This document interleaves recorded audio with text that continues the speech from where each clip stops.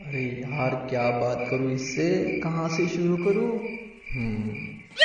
तुम्हारा नाम क्या है? क्यों?